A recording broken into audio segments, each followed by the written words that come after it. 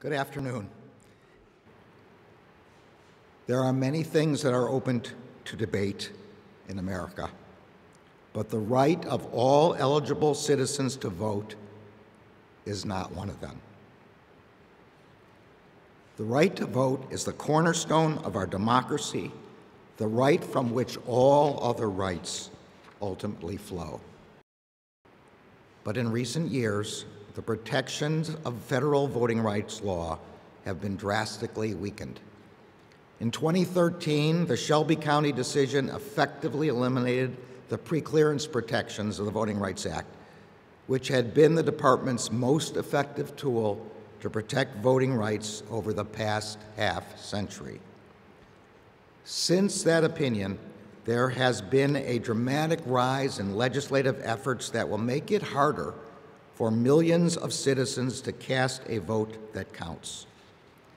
So far this year, at least 14 states have passed new laws that make it harder to vote.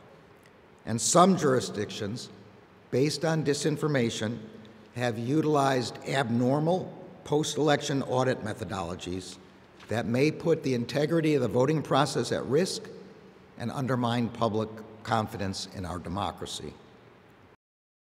As part of its mission to protect the right to vote, the Justice Department will, of course, do everything in its power to prevent election fraud and, if found, to vigorously prosecute it.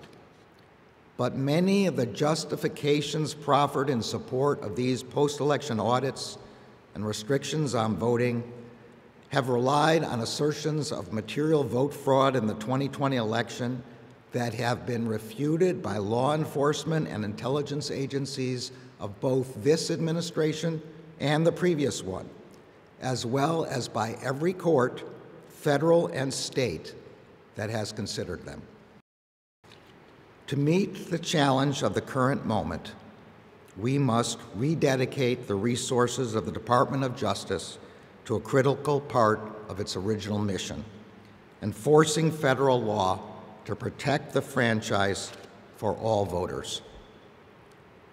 In 1961, Attorney General Robert Kennedy called into his office the newly appointed Attorney General, Assistant Attorney General for Civil Rights, Burke Marshall, and Marshall's now first assistant, John Doar.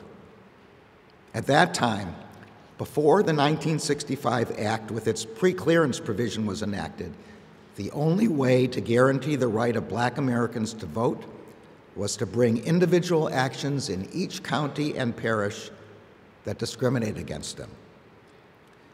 Kennedy told his assistants that was what he wanted to do.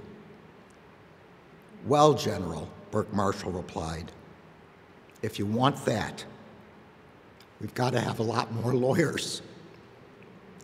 Well, today, we are again without a preclearance provision. So again, the Civil Rights Division is going to need more lawyers. Accordingly, today I am announcing that within the next 30 days, we will double the division's enforcement staff for protecting the right to vote.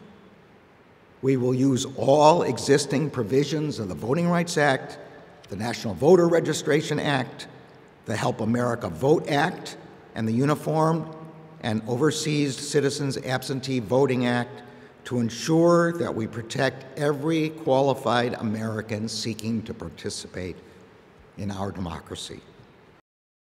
Thanks to all of your work, the Department of Justice will always stand up to ensure the survival of the central pillar of our democracy. Thank you.